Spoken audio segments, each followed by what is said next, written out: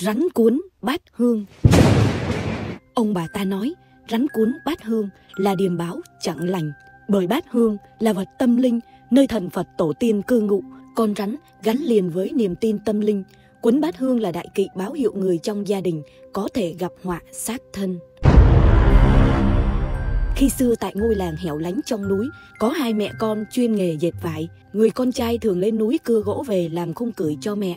Có lần lúc lên núi, nó vô tình thấy có một con rắn mẹ đang ấp mấy quả trứng.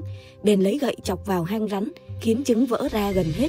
Con rắn mẹ thủ thế bên trong, nó bèn lấy vỏ cây khô đốt, xông khói vào hang như hun chuột, rồi lấy con dao buộc vào cái cây chọc vào bên trong con rắn. Đến khi lôi ra thì con rắn chỉ còn cái xác tả tơi, nó đem về nấu cháo, mang qua mời hàng xóm, nhưng người này không ăn và khuyên nó đừng nên làm chuyện thất đức.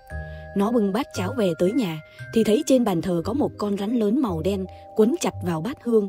Nó hoảng hốt chạy ra sân kiếm cây hàng thì nhìn thấy bên hông nhà mẹ nó nằm gục bên khung cười, miệng há hốc cứng đơ, phần thịt bên gò má trái còn nguyên vết rắn cắn, làn da chuyển thành màu sạm đen, mắt trợn tròn chỉ toàn lòng trắng. Nó gào lên một tiếng rồi cầm con dao xông thẳng vào nhà.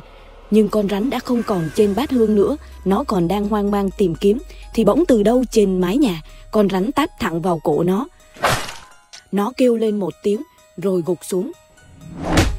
Dân làng thương mẹ quá con côi mất thảm, nên đem đi chôn cất tử tế. Thế nhưng khi người ta tới thăm mộ, thì phát hiện xác của đứa con trai đã bị moi lên và đang phân hủy. Bên cạnh nó có một miếng da rắn vừa lột ra. Từ đó trở đi, Mỗi đêm khuya thanh vắng, tại nhà hai mẹ con, người ta nghe tiếng khung cười vang lên từng chập, từng chập. Người làng rình xem thì thấy trên hiên nhà một người đàn bà chăm chú dệt vải, nghĩ là trộm. Họ xông vào thì đúng lúc ấy, người đàn bà ngẩng mặt lên, mọi người lập tức hét lên kinh hoàng.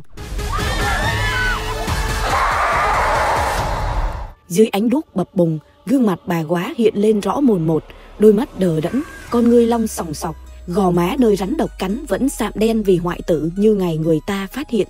Chỉ có điều bây giờ ở trong đó rất nhiều giòi toàn là giòi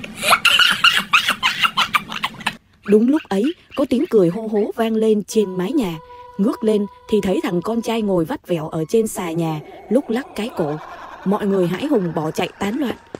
Kể từ đó, cứ đến gần ngày dỗ của hai mẹ con, lại thấy bóng dáng họ phất phơ đi qua, đi lại trước mái hiên người làng thương xót nên nấu cơm cúng tế đàng hoàng. Đây là một trong những câu chuyện nhỏ trong cuốn Tết ở làng địa ngục của tác giả Thảo Trang đã được truyền thể thành phim và sẽ trình chiếu thời gian tới. Còn việc rắn cuốn bát nhang có phải điềm báo vong mạng hay không thì đến nay vẫn còn là bí ẩn.